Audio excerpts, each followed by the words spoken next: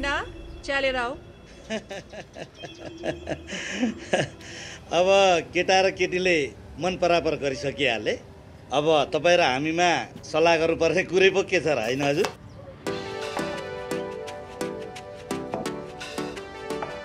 सल्लाह गर्नलाई त थुप्रै दिन बाँकी छ नि। भर्खरै चार दिन हुँदैछ। अभि तपाईँहरूको पहिलेदेखि चिन्जान हो र? चिन्जान भन्दा पनि बिजनेस कि कसो? के बिजनेस हो र त्यस्तो? मेरो ठमेलमा हस्तकलाको सामानहरू बेच्ने बिजनेस छ म्याडम।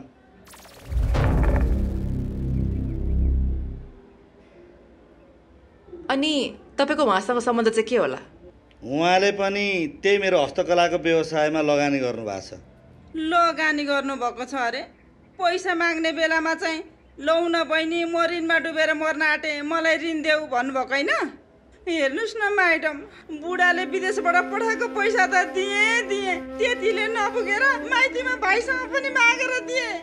न अहिले मेरो घरमा राम्रो सम्बन्ध छ न माइतीमा। अनि तपाईँले पैसा चाहिँ किन दिनुभयो उहाँलाई? हातमा पैसा भएपछि आँखामा पट्टी लाग्दो रहेछ। उहाँको र मेरो गाउँ सँगै हो। हाम्रो परिवारसँग उहाँको परिवारले पहिलेदेखि लेनदेन गर्नुहुन्थ्यो। अहिले उहाँले गरेर कतै गएर हाम फालौँ कि आत्महत्या गरौँ जस्तो भइरहेको छ भनेपछि उहाँले देखाउनु भएको चेकमा उल्लेखित रकम तपाईँले तिर्नै पर्ने हो त? हजुर मैले दिनुपर्ने पैसा हो। तर हेर्नु न अब मैले सप्लाई गरेँ पार्टीले मलाई पेमेन्ट नै गरेको छैन।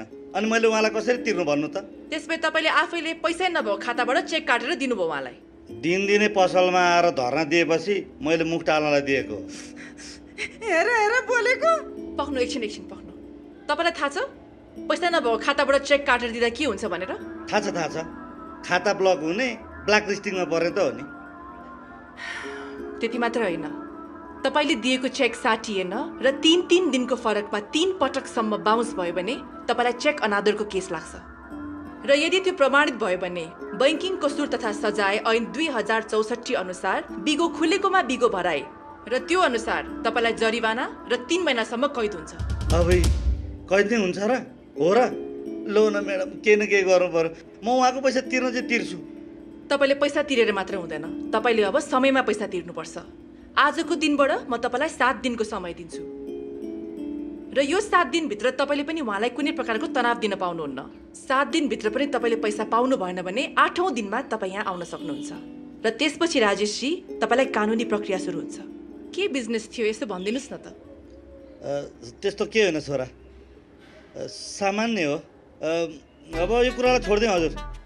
हजुर यो हाम्रो सम्बन्धलाई म पक्का सम्झ्यौँ हतार किन गर्नुहुन्छ? तिन दिन त अझै बाँकी छ।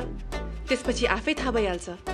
जन्तीले र हजुर हाम्रो घर आउनुहुन्छ कि हामी हजुरकोमा आउने हो? मैले कुरा बुझिनँ नि। मैले बुझेँ। जाउँ हिँड छोरा। हस् त हजुर म चार दिनपछि यहाँलाई फोन गर्छु। हजुर राम्रोसँग बिजनेस गर्नुहोस्। त्यसपछि त म आफैले तपाईँलाई फोन गरिहाल्छु नि। हस्।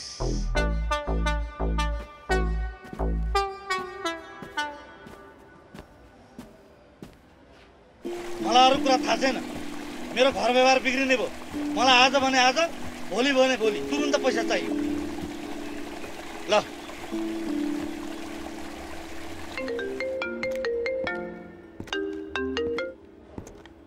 हेलो तपाईँलाई धेरै धेरै धन्यवाद।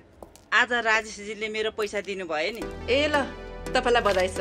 साथसाथै मलाई पनि र मेरो बधाईलाई पनि। के को बधाई? मैले त कुरा बुझिनँ नि। होइन होइन के होइन छोडिदिनुहोस् आइन्दाबाट चाहिँ ख्याल राख्नु होला हुन्छ हस्।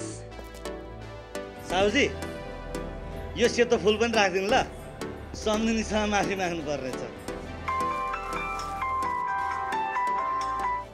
हेलो। नमस्ते हजुर। नमस्ते। जन्ती त तपाईँले नै लिएर आउनु पर्ने भयो नि। अब व्यवहारमा दुई चार दिन तलमाथि त परिहाल्छ नि। तर मलाई पनि जेलै जान त मन कहाँ छ र सम्झिनेज्यू तपाईँलाई पनि जेल नै हाल्ने त कहाँ चाहन्थेँ र म पनि? हजुर हजुर। हस्।